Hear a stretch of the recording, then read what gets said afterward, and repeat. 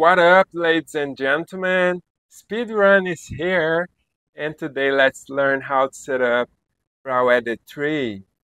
You go to the link in the description below and download your BrowEdit 3 patcher. Create your folder BrowEdit 3, add the patcher inside, launch it.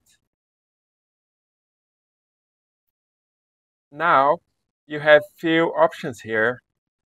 What you want to do first is go to the latest one on the top and hit OK.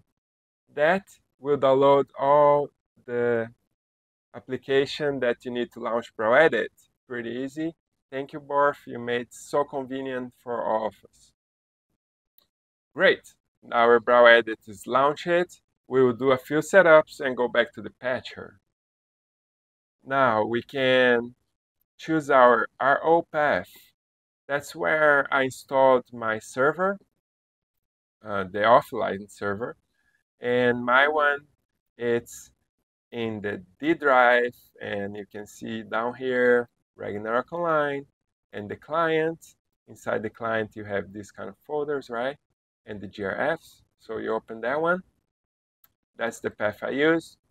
And here is the GRF files um, I link data.grf, which is, let me copy this path, I'll be going back here. And my data.grf is in, in the D drive. Yeah. And Ragnarok Online. Then here I have um, client and data. Okay. Now I'll add once more here on this button here and click browse and I choose our data and you can add as many other GRFs that you like. Um, here is the themes and you have four options. Delight, Classic, and Tark. Uh, if you don't know, Tark is the one to create all these beautiful icons and designing um, some stuffs here in BrowEdit 3. So I choose dark. I like to stick to this skin. And down here, um, let me see. Yeah, that's up here is all good. GRF editor, you browse. If you have installed on the default location, it will find automatically. You just hit OK.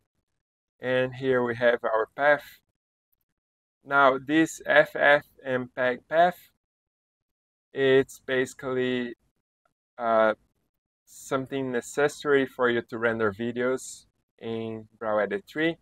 We will add later on. So now I just hit save. And we can already launch maps. For example, I'll go here, File, New, and create a new map. Or I go to File and Open, and open any map that I want. Okay, it's all working perfectly. and you can play around with this for now if you want. And I will close to finish setting up let me show you something before closing. If I go down here in effects, you can see that there are no preview, they all look the same. Let's set up that as well. So now I close. Uh, we can use this patcher right here, but for the effects, I find out I have to use the patcher generated by this patcher right here. For example, FFmpeg, it's all good. I just hit download and we'll be good to go.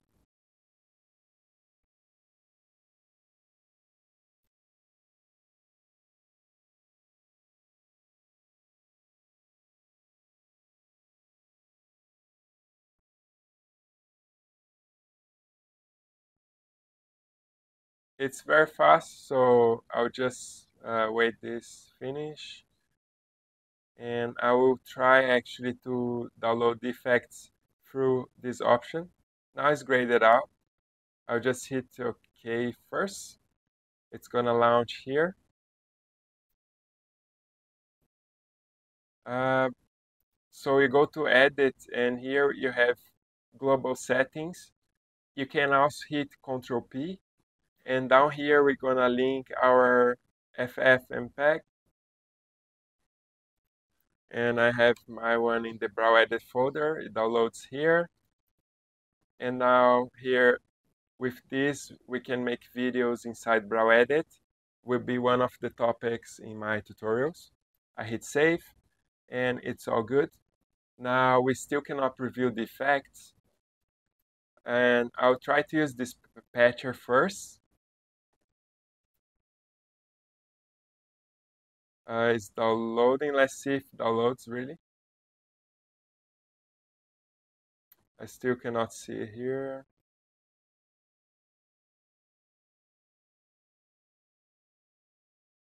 Oh, this time it happens uh, all good. So we have downloaded effects. If by any chance this doesn't download it, you can try using the patcher generated by Browedit 3. And Okay, now we have the effects. That's all we need. We can close this. Uh, you don't need to extract or anything. So now I can open Browedit 3. And let's preview our uh, effects as well.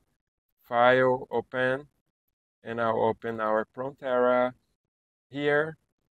I can go to edit or actually object mode it's hidden down here, effects. And now you can see that those effects that are possibly able to add in games will be showing here. Uh, it might take some time to load. You can see it's bugging a bit, but it's all good. It's a heavy file. And yes, uh, now it's loaded. I can, for example, pick this, but you will see that in game or in the editor, uh, better saying, right? You can see that still showing this, which is normal. You can open maps and copy effects from the maps. This map doesn't have any effect, I cannot see it. But if you go to another map that has effect, you can simply copy and bring to the map. This will be a subject for our next video uh, in the near future. I do appreciate you all uh, watching and learning here with me. Enter Browedit Discord, like this video, subscribe to this video. I will be bringing all kinds of content related to this beautiful editor. It's a speedrun here and see you in the next video.